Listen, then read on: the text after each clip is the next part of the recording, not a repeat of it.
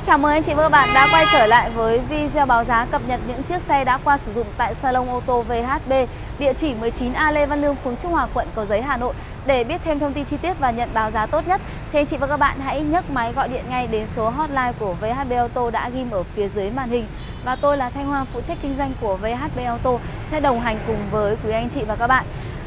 Trong tầm giá 2 tỷ, Toyota Prado chính là sự lựa chọn số 1 của người tiêu dùng sở hữu vẻ ngoài và thiết kế rất là mạnh mẽ, nam tính, sang trọng.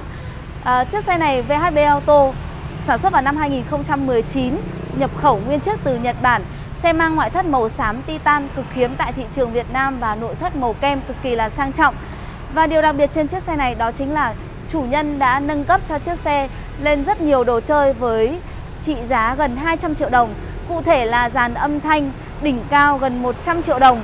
cách âm 4 cánh cửa, Ờ, độ camera 360 độ để nổ start top màn hình giải trí Zitech, ờ, giá nóc dàn lốp 2023 mới tinh và rất nhiều những option cao cấp khác như là dán kính, trải sàn tất tần tật đều là loại uh, xịn sò và cao cấp nhất. Chiếc Prado 2019 mang tên cá nhân, biển Hà Nội, hồ sơ cầm tay, khách hàng chỉ cần công chứng hợp đồng mua bán và sang tên. Xe thì đã trải qua quãng đường là hơn 7 vạn km nguyên zin xe full lịch sử hãng. Giá chào bán là 1 tỷ 989 triệu đồng. Tiếp theo là chiếc xe Hyundai Santa Fe bản tiêu chuẩn máy dầu sản xuất vào năm 2020, ngoại thất đen và nội thất màu đen, xe mang tên cá nhân, biển tỉnh, à, xe lăn bánh hơn 5 vạn km, giá chào bán là 839 triệu. Một chiếc xe nữa vừa mới cập bến Salon ô tô VHB Auto Chiếc xe Lexus RX 300 sản xuất vào năm 2018 à, ờ, Sở hữu ngoại thất màu nâu và nội thất màu kem Xe mang tên cá nhân Lăn bánh hơn, hơn 6 vạn km và Full lịch sử hãng Km nguyên zin. Giá chào bán là ờ, 2 tỷ 250 triệu đồng. Tiếp đến là chiếc xe Mercedes-Benz E200 sản xuất vào năm 2022 Bản uh, Exclusive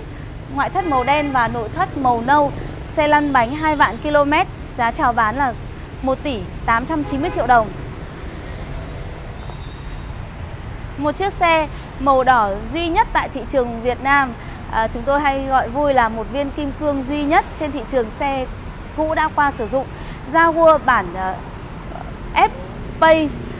Sport sản xuất vào năm 2019 màu đỏ và nội thất được phối hai màu đỏ và đen uh, trang bị rất nhiều những tính năng và option cao cấp chiếc xe này thì ờ, đã trải qua quãng đường là hơn 5 vạn km cũng là khu lịch sử hãng giá chào bán là 1 tỷ 790 triệu đồng. Tiếp đến là chiếc xe Audi A5 sản xuất vào năm 2016 màu đen và nội thất màu uh, kem một chủ sử dụng từ đầu tên cá nhân biển Hà Nội. Xe lăn bánh 4 vạn mai full lịch sử Giá chào bán là hơn 700 triệu đồng. Và bên trong cùng uh, chiếc xe cuối cùng đó chính là chiếc xe Fortuner Sportivo sản xuất vào năm 2015 Màu trắng và nội thất màu kem À, Chiếc xe này thì lăn bánh là 9 vạn km zin à, Lốp zin theo xe, nội thất zin nguyên bản cũng theo xe nốt Và giá đang chào bán là 550 triệu trên đây là giá chào, giá giảm xin vui lòng liên hệ trực tiếp đến số hotline của VHB Auto để nhận được báo giá tốt nhất. Cảm ơn anh chị và các bạn đã theo dõi video. Xin chào và hẹn gặp lại.